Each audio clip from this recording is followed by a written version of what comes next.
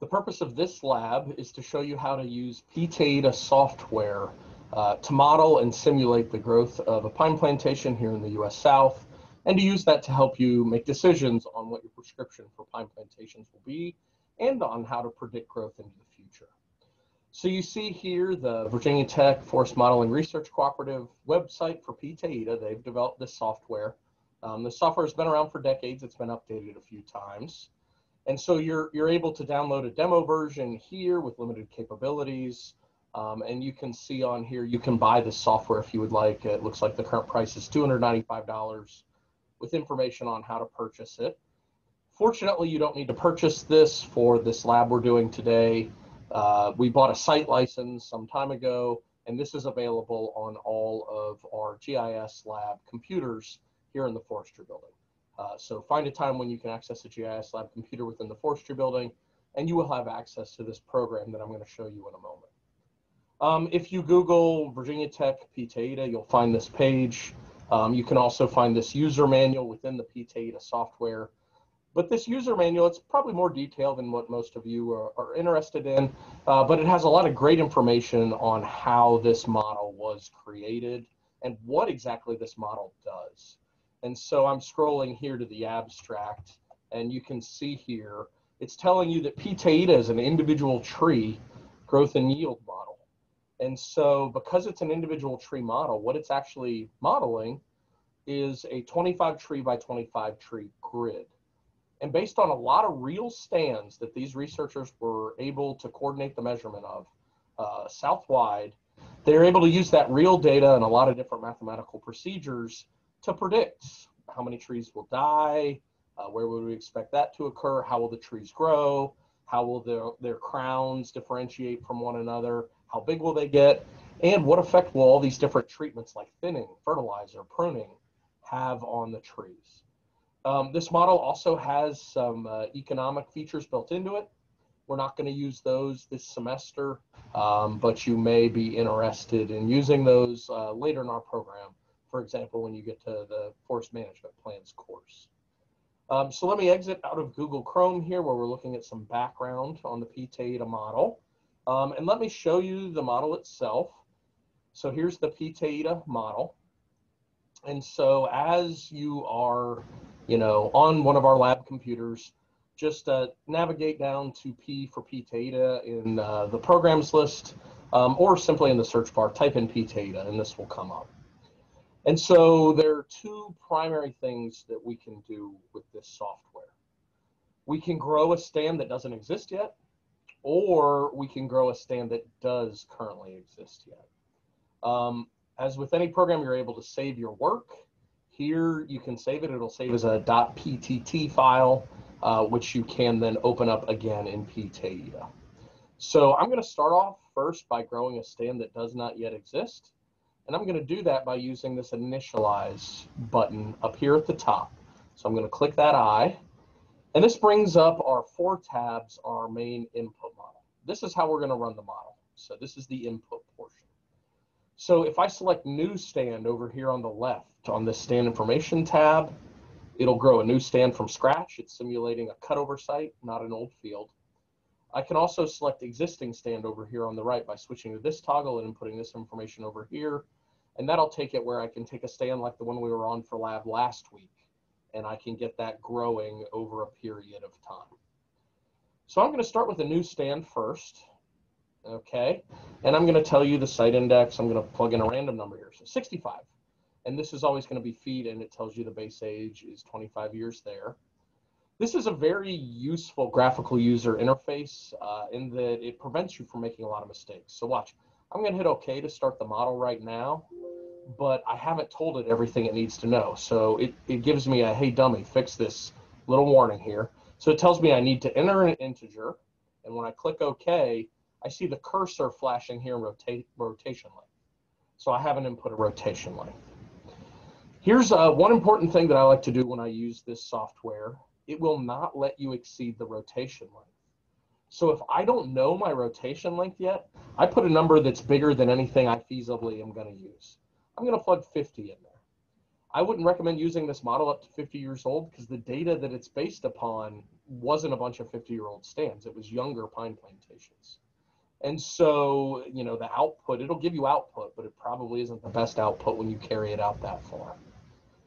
Okay, here's another useful thing with this model, the grow to age. Um, for the most part, it's difficult to move backwards in time in this model.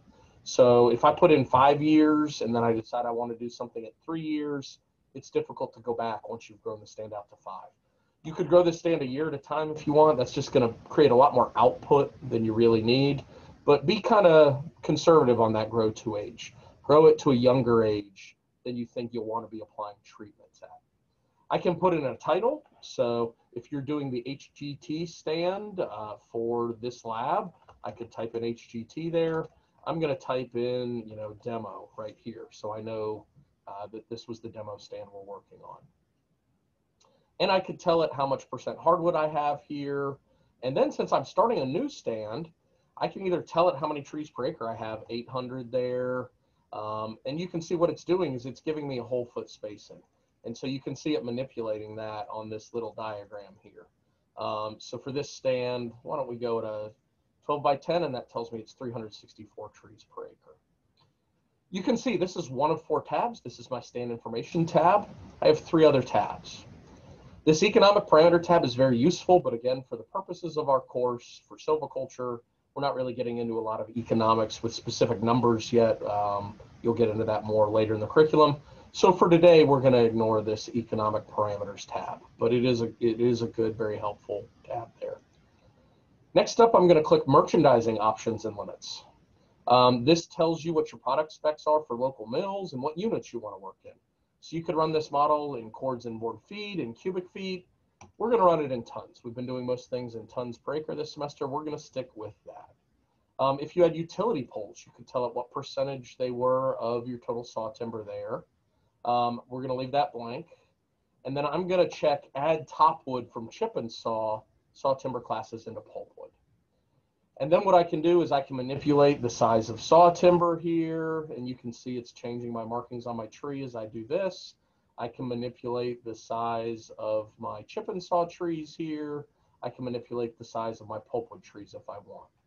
Look in the handout for lab, and it will tell you the exact specs we're going to use. Don't use what I've just input unless that's what the handout says. Next up, I'm going to go to my site information tab. Okay, and so you can tell whether the site's been chopped and burned. And so most of our stands have not been roller chopped anymore. This is an older prescription we don't use very frequently. Um, shear and pile is going to be moving slash around and piling it up. Uh, disking is going to be like agricultural plowing for shallow compaction and bedding is going to be raising the soil into mounds so seedlings don't drown. And so you can also select none of them. You can select herbaceous weed control for one or two years here.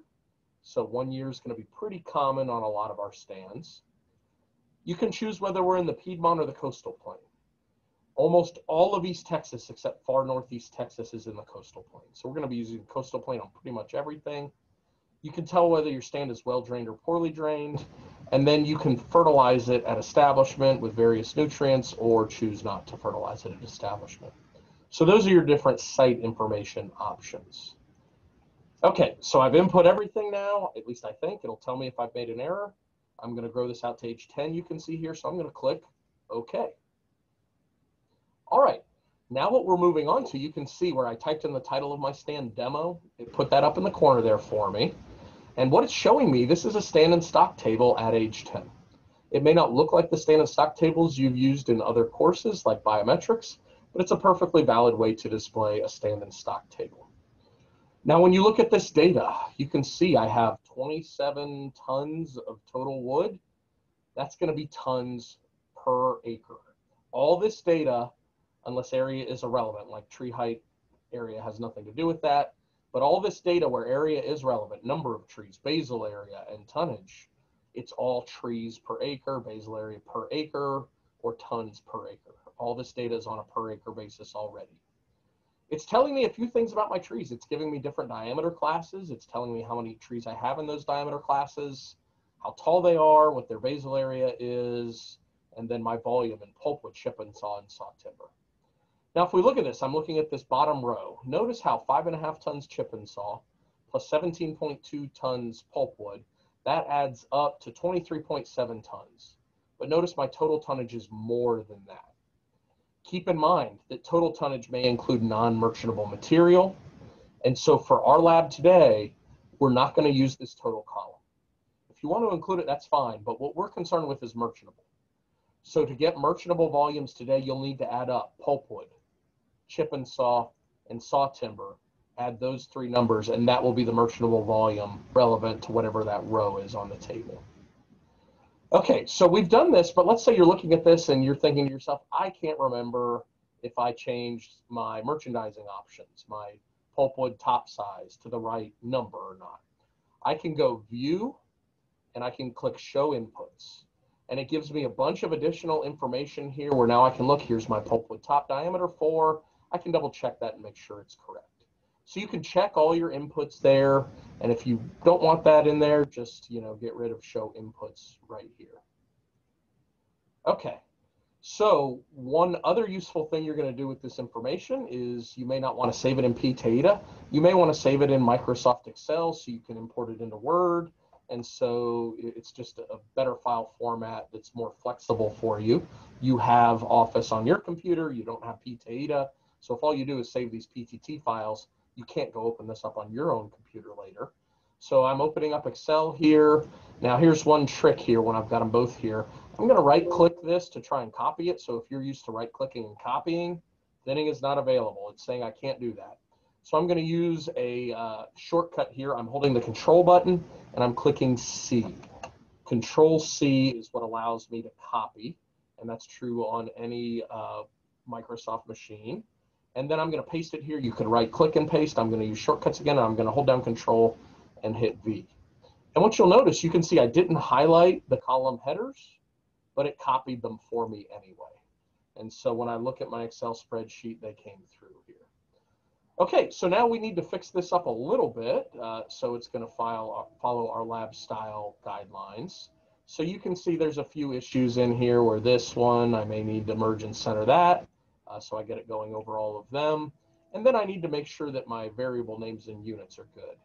Um, and so here I've got DBH and the units on that are inches. Well, what's my number of trees? That's going to be my stand density.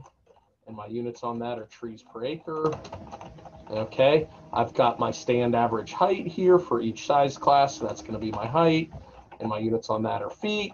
And then I've got my basal area here, and I know my units on that are feet squared per acre.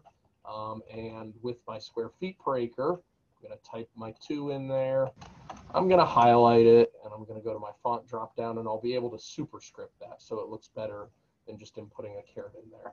Looks like I subscripted it, but we can fix that easily enough. Let me that. And superscript, not subscript.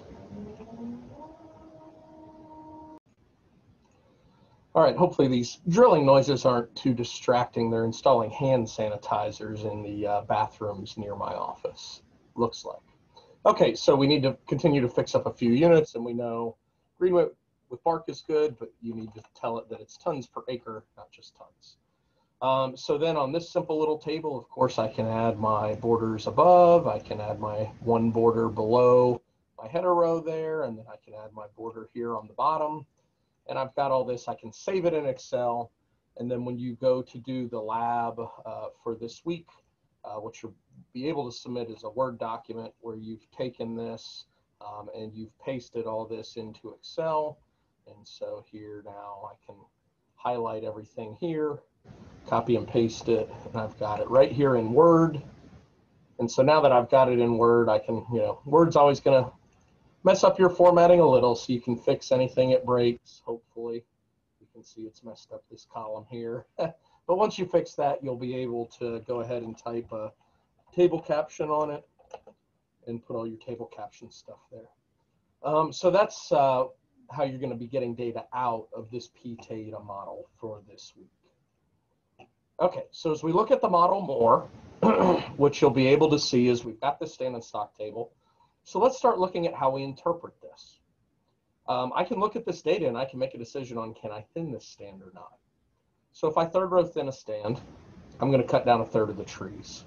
So if I third row thin this stand, but I didn't cut any of the trees, the logger would be harvesting a third of 17, so a little less than six, plus a third of five and a half, so a little less than two. The logger would only be getting less than eight tons per acre. No logger is going to bid on a job that only gives them eight tons per acre in our area under almost all conditions, especially considering uh, that this is a lot of small, 291 small pulpwood trees per acre. Um, and so looking at this, it does not suggest that this stand is yet ready to thin.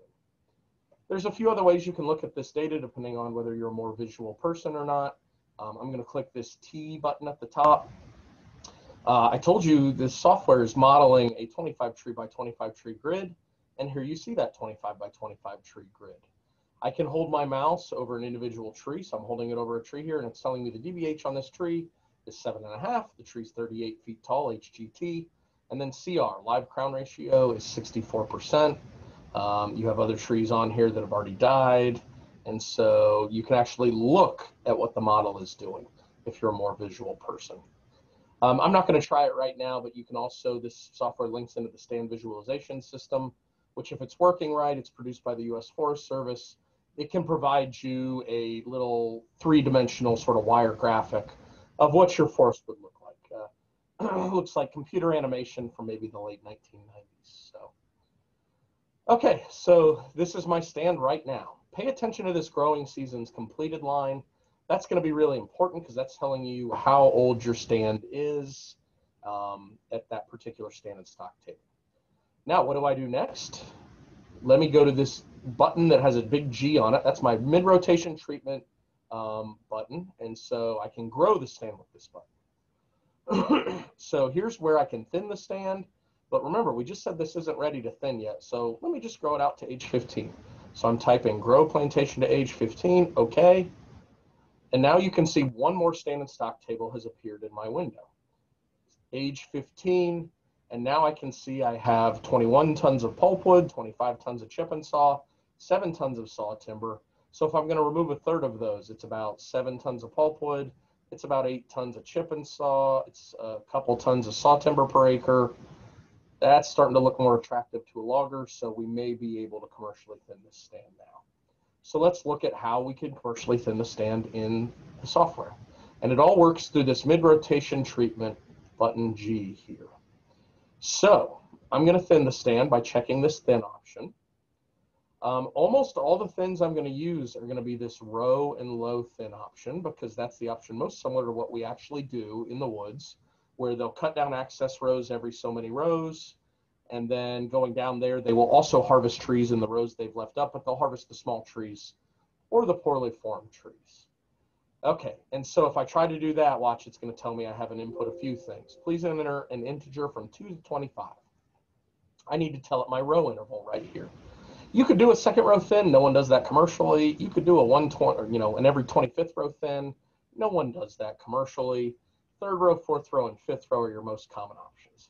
I'm going to fifth row thin this stand. And then I can hit OK again, see what it does. Oh, look, I need to enter a low thinning type. So I need to tell it if I'm low thinning by diameter or basal area. We're going to use basal areas. So right now, I can look behind me. I can see my stand has gotten up to 99 square feet per acre of basal area realistically, would I be thinning this stand at only 99 square feet per acre? Probably not. Uh, but let me see if I can go ahead and thin it back to 70 square feet per acre. Um, you're typically looking at somewhere between 60 and 80 square feet as common targets. Okay, now I've entered everything I need. I'm going to go ahead and generate the thinning reports by checking this little toggle here. And then I'm going to put a grow to age. It's currently 15. I'm going to grow it out to 20. Now, here's a common mistake people make with this window. This works like you read. It works from left to right. So if I click all this thinning stuff, remember my stand is 15 years old right now. That means that it is going to thin my stand at age 15, excuse me, and then it's going to grow my stand out to age 20, okay? And so don't think that it's going to be growing my stand five more years, than thinning it at age 20, okay? Um, there are fertilizer options here too, where you can fertilize with so many pounds of nitrogen per acre. You could apply phosphorus or not, so that's an option as well. We're not going to get into the pruning option here today. So let me thin the stand and see what it looks like. Okay, so I, I already have a bunch of windows here. So I need to look at these carefully and see what's what. Live trees at age 20. So the 20 growing season is completed and live trees there are important. So this is my stand that's already been thin and grown now to age 20. Let me take a look at it by hitting this T button again. And sure enough, look at that. They cut down every fifth row and they cut down some trees in the rows they left up. So it did a good job. But now you can see, I, I only had two tables on here before. I had this table and I had this table. So it's generated several more tables for you. So it generated this live tree table, and what you'll notice is it's identical to the table above it. So this table was just to tell me what was there right before thinning. Here's my thin tree table. So you have to pay attention to these titles that say either live trees or thin trees. A common mistake people make is they'll look at this and they'll say, oh no, I thinned my stand and now it only has 29 square feet per acre of basal area. That is not correct. This is just what was cut down and put on a log truck. And so you can see if you look at it, we cut down and put 8.7 plus 4.1 plus 1.3. Uh, we went ahead and we put 14.1 tons on a log truck. If you needed 20, you would have had a hard time getting a logger to do this. So that's something that the model's telling us. That's something that's helpful. Then below that is live trees at age 15. So you can see this is what my stand looked like immediately after I thinned it. So the thinning gave me three tables, right? Before the thin, what was removed, because I checked that generate thinning report table. And then what did my stand look like right after the thin, before it gave me this final table growing it out to age 20. So here I can see what my post-thin stand looks like. Remember, my basal area was target was 70 square feet per acre, and it got it pretty darn close. So we're in good shape there. So this is what's left after the thin. You can thin the stand again. So I've got this age 20 stand here. Again, its basal area is only 95. I probably wouldn't realistically thin this. You can't row thin the stand a second time, right? You can only row thin it once. So your second thins are going to be low thins with basal area targets. I'll use 65 square feet per acre this time, and then I'll grow it out to age 26. I'm making up arbitrary stuff here just to show you how the model works. And there you go. It spat out a bunch of tables for me yet again. And so if we'll look at what it did, it gave me this table right before the stand was thinned. It told me what it removed in this thinning, okay, right here. Um, and then it gave me the, the live trees afterwards. And so as I look, actually, let me see what I did here. Yeah, see how I didn't check generate thinning report on that last one? I never generated the thinning report, so it actually didn't give me all those tables. It looks like it gave me the table at age 20 and then just the table at age 26. It didn't give me the three tables in between. So anyway, I know what my stand looks like uh, at age 26. PTAEDA is not very glitchy compared to most of these growth and yield models on the market, but you will occasionally see it have an error and reboot on you, um, as is what's happening to me right here, right now. So this tells you two things, save your work as you're going through this, and copy and paste it into Excel, save that Excel spreadsheet so you won't lose that stuff. And so here I can see my table here at the bottom. Um, it's kind of grayed out because it's uh, shutting down on me. But what it's given me is it's giving me the trees that are there at age 26, and it's giving me the total trees that are there now, and everything I've removed in this most recent thinning, so the thin trees, and then it's adding that to the first thinning for that all thinned row. Okay, um, so let me go ahead and close the program, and usually it reboots pretty easily. You just open it right back up, and it's good to go. And so here, let me pull it up here so you can see it. And there you go. The program's back up and running. So it's not like you have to reboot the computer or anything. But that was good that happened so you can see an example. So save your work. And so if I wanted to resimulate that stand, I would have to go through and put all my inputs back in here. But if I had saved that PTT file, I would be able to open that PTT file um, and my inputs would have come back. Okay. So let me just take a real simple stand here on a fair site run it out to 50 years. I'm going to leave all these presets in and I'm going to grow it to age 25. I'm not even going to add a title. Okay. Just to give me a stand and stock table. So here's my stand stock table of this 25 year old hypothetical stand. Now, see how there's a grow button and there's a start the stand button, initialize grow. There's no clear cut button here, right? So how do I clear cut this stand? Well, if I want to clear cut this stand at age 35, look at that stand and stock table. That's exactly what I would be removing if I clear cut it right now. So there is no clear cut button because you can simply look at your stand right there. Okay. Um, So you can see the back button will work sometimes. It doesn't always work and it won't work more than once usually. You can use that. Sometimes it'll help you. Let me show you an example of what I want to see you doing uh, for this lab. Um, so, you know, we're going to grow out an existing stand. We're going to use the HGT plantation that we used last year. So you're going to fix your site information up so it matches that HGT stand. You're going to fix your merchandising option up as directed in the lab handout. And then what you're going to do is I'm going to give you the data on the surviving number of trees per acre and their diameter distribution. And these are based on the data you all collected last week. I'm going to make up numbers right now just to show you how this works, but you're going to need to input that data. So you'll need to input the number of surviving trees per acre. I'm going to put 545 in there. Okay. You'll need to input the site index off the data I provide. I'm going to put in 80 for right now. That's not the right number. Um, and then rotation length, put it longer than you need. Grow to age. Well, how old was that HGT stand right now? It was 12 years old. So I'm going to plug 12 in there. I'm going to title it the HGT stand. Okay. See how I can't manipulate trees per acre or spacing? It won't let you do that while growing an existing stand. It's going to assume them. Age since planting 12 years. This is real important. I'm going to get a window up where I can type in the number of trees in each diameter class next. You don't see that unless you check this adjust the diameter distribution manually box. So if you're not seeing that window, make sure you check that little box and you'll be able to input the percent hardwoods. I'll, I'll have that available for you calculated so you can input that. And then it brings up this window. If you don't get this window, remember, check the adjust diameter distribution manually box. You can see here from the last time I did this, it, it, it kept my number of trees in there. And so I'm just going to adjust this hypothetical example. Uh, let me see here. And so it tells you what you can and can't have in there. So it's making me, I told it I have 545 trees acre. It's making me assign all of them and no more than that. And so I keep inputting too many and so it's not happy with me. But there we go. So I've input all my trees acre. This is not a realistic diameter distribution I've got here, just hypothetical to show you how the model works, but I assigned all of them. But it won't let you go forward until you've assigned all your trees to diameter classes. Okay, the other thing is the percent defective, and here's the problem with percent defective. You can see this is cleared. You have to re-enter this every time, unfortunately. So that's one quirk of the model uh, where you're gonna have to re-enter it each time, okay? So you'll get used to punching that in over and over and over again as you run different model simula simulations here. Okay, so I'm going to click OK.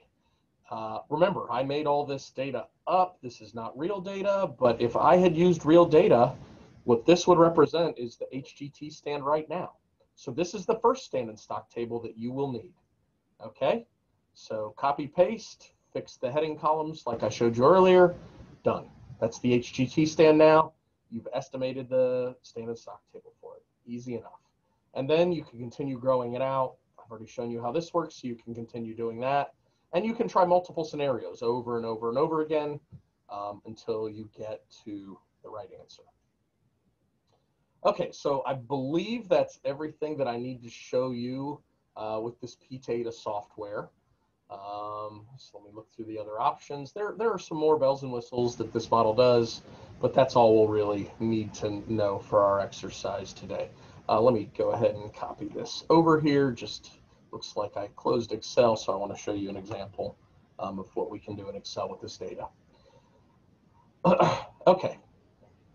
So what I want to see in your HGT scenario, fix up this table like I showed you how to fix it up and that's the first of four tables you're turning in, okay? And so that's our HGT stand now. Then continue trying different thinning regimes until you get to the end of your best rotation. And then at the end of that best rotation, turn in your final stand standard stock table. But I'm gonna want you to modify it, okay? So I'm gonna want you to add several rows and you can add them here at the bottom, okay? So if you thin the stand once, you have your thinning row. If you thin the stand twice. I want you to include what you removed in thin one, what you removed in thin two, what you removed in the clear cut. Okay? Um, and with these different rows, you're only including these in the HGT stand at the end of the rotation table. And all you really need to include is the, the volumes here, the pulpwood, the saw timber, and the chip and saw. And so you can copy these out of previous standard stock tables that PTAEDA output. Um, and so if I open PTAEDA up here, let me thin this stand here. So I'm going to thin it. I'm going to row and low thin it. I'm going to go every fifth row. I'm going to take my basal area down to 60. I'm making up numbers here. And then I'm going to grow it to age 20. I'm going to generate thinning reports. Okay. Well, here, if I go look at thin trees, this is what I removed in that first thin. So I can copy this row out here. This is what I cut down on that first thin. I'm copying just that row. I'm opening up Excel again.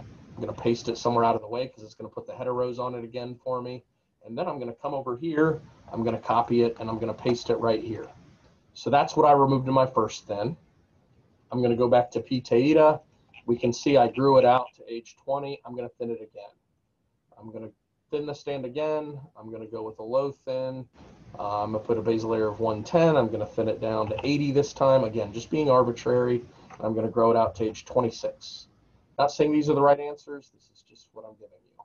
Okay, and I click generate thinning report. So here are my thin trees in this second thin, and it's going to be this thin row. All thin down here also includes the trees that I removed in my first thin. So I'm going to copy out thin here, and this is going to be, again, I'm going to paste it over here to the side out of the way.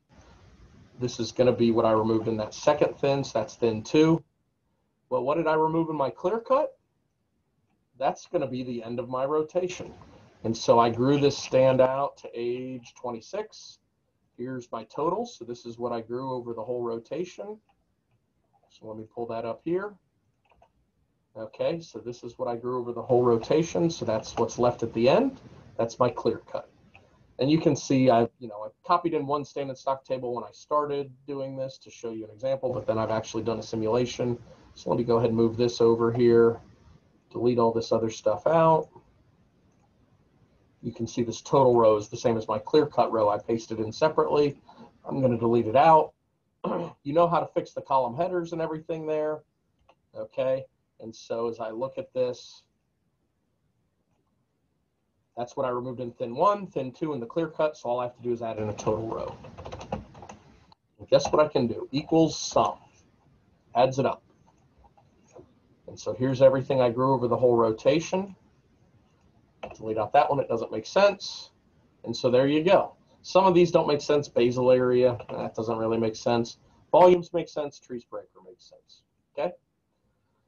Now, this went on the log truck in thin one, 30 tons of pulpwood, three tons of chip and saw, 0.8 tons of saw timber. Thin two, this is what went on the log truck. The, the clear cut, this is what went on my log truck. So over the whole rotation, all this went out on a log truck. So when I want to calculate mean annual increment, it's all the tons per acre that I removed, which is this, divided by the years it took me to do it. This was a 26 year rotation. My mean annual increment on this data I made up was 6.19, and we always need the units on mean annual increment, tons per acre per year. I'm typing this right here in Excel, but on your exercise, please put it in the table caption. There you go. So I think that's everything you'll need to know with how to use PTAEDA. This part confuses you all uh, a fair bit, getting the thin one row, getting the thin two row. If you didn't do a second thin, you don't have this row, right? Getting the clear cut row, which is just the total row from your last stand of stock table, and then making a new total row where you're adding all the thinnings to what you remove in the clear cut, and calculating mean annual increment from just the merchantable material, not this total column at the end of the rotation. So those are all common errors. Okay, so I'm going to be providing you with a number of other resources for this lab, uh, but that's the background you need to know on PTAEDA software.